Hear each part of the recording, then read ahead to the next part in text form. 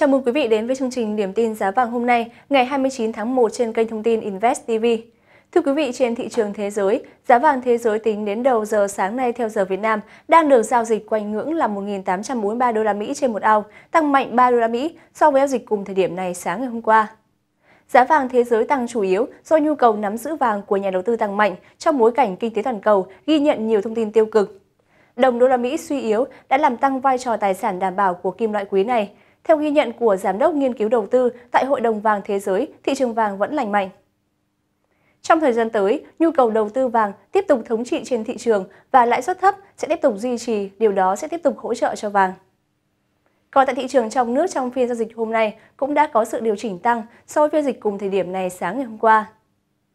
Tại các tỉnh thành phố từ Bắc xuống Nam, giá vàng SJC đi ngang ở cả mua vào và bán ra, duy chỉ có SJC Đà Lạt là chưa có sự điều chỉnh. Cụ thể, giá vàng SJC tại các tỉnh thành phố đang được niêm yết ở mức giá như sau. Tại SJC Hà Nội và SJC Đà Nẵng có chiều mua vào là 56,15 triệu đồng trên một lượng và bán ra là 56,67 triệu đồng trên một lượng. Tại SJC Nha Trang có chiều mua vào là 56,15 triệu đồng trên một lượng và bán ra là 56,67 triệu đồng trên một lượng. Tại SJC Cà Mau có chiều mua vào là 56,15 triệu đồng trên một lượng và bán ra là 56,67 triệu đồng trên một lượng. Tại SJC Bình Phước có chiều mua vào là 56,13 triệu đồng trên một lượng và bán ra là 56,67 triệu đồng trên một lượng. Tại SJC Huế có chiều mua vào là 56,12 triệu đồng trên một lượng và bán ra là 56,68 triệu đồng trên một lượng. Tại SJC Biên Hòa, SJC miền Tây và SJC Quảng Ngãi có chiều mua vào là 56,15 triệu đồng trên một lượng và bán ra là 56,65 triệu đồng trên một lượng. Tại SJC Đà Lạt có chiều mua vào là 47,77 triệu đồng trên một lượng và bán ra là 48,2 triệu đồng trên một lượng. Tại SJC Long Xuyên có chiều mua vào là 56,17 triệu đồng trên một lượng và bán ra là 56,7 triệu đồng trên một lượng. Thưa quý vị, còn tại thành phố Hồ Chí Minh, giá vàng các loại hôm nay cũng đã có sự điều chỉnh tăng so với dịch cùng thời điểm này sáng ngày hôm qua, cụ thể được niêm yết ở mức giá như sau. Tại SC Hồ Chí Minh từ 1 lượng đến 10 lượng có chiều mua vào là 56,15 triệu đồng trên một lượng và bán ra 56,65 triệu đồng trên một lượng, không gì thay đổi. Nhiễm 4 số 9 từ 1 chỉ đến 5 chỉ có chiều mua vào là 54,4 triệu đồng trên một lượng và bán ra 54,9 triệu đồng trên một lượng, cũng không gì thay đổi. Vàng nữ trang 4 số 9 có chiều mua vào là 54 triệu đồng trên một lượng và bán ra 54,7 triệu đồng trên một lượng, cũng không gì thay đổi. Vàng nữ trang 24K có chiều mua vào là 53,158 triệu đồng trên một lượng và bán ra 54,158 triệu đồng trên một lượng, cũng không có gì thay đổi. Vàng nữ trang 18K có chiều mua vào là 39,179 triệu đồng trên một lượng và bán ra là 41,179 triệu đồng trên một lượng, cũng không có gì thay đổi. Vàng nữ trang 14K có chiều mua vào là 30,043 triệu đồng trên một lượng và bán ra là 32,043 triệu đồng trên một lượng, cũng không có gì thay đổi. Vàng nữ trang 10K có chiều mua vào là 20,962 triệu đồng trên một lượng và bán ra là 22,962 triệu đồng trên một lượng, cũng không có gì thay đổi.